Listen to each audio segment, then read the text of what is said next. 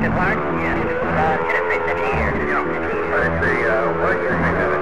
Well, I'll tell you, when I first saw the thing, it was approaching the base